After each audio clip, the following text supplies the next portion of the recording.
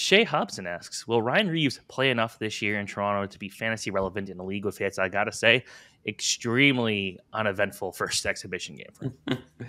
yeah, he's to save those fists. He doesn't want to go full David Clarkson and get himself suspended in the preseason. Um, oh yeah, yeah. I still take credit for cursing David Clarkson. I wrote that story, Hockey News cover with the bleed, the scar bleeding blue. I, I feel like it cursed him.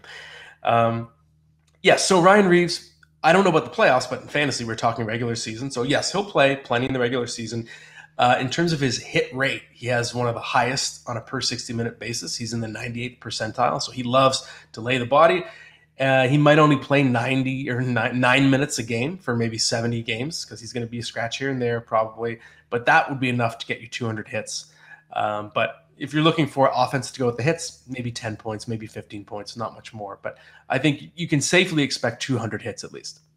Look at his stats. Like he does have the ability to put pucks in the net. He does know how to get some points, but it's always limited. But you know, he's not like those guys that you'd see in the 2000s that would get 300 penalty minutes and they had one assist and it was a secondary assist on a line change. Like, yeah, that, that never happened. So